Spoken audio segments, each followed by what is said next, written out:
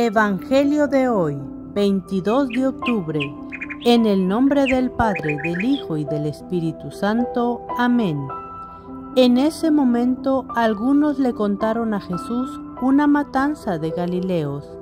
Pilato los había hecho matar en el templo, mezclando su sangre con la sangre de sus sacrificios. Jesús les replicó, ¿creen ustedes que esos Galileos ¿Eran más pecadores que los demás porque corrieron semejante suerte? Yo les digo que no, y si ustedes no renuncian a sus caminos, perecerán del mismo modo. Y aquellas dieciocho personas que quedaron aplastadas cuando la torre de Siloé se derrumbó, ¿creen ustedes que eran más culpables que los demás habitantes de Jerusalén? Yo les aseguro que no.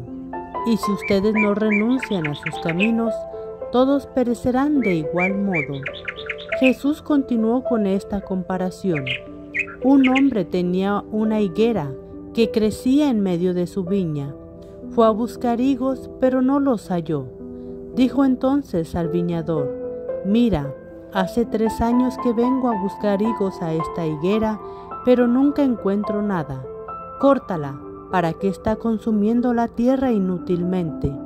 El viñador contestó, Señor, déjala un año más y mientras tanto cavaré alrededor y le echaré abono.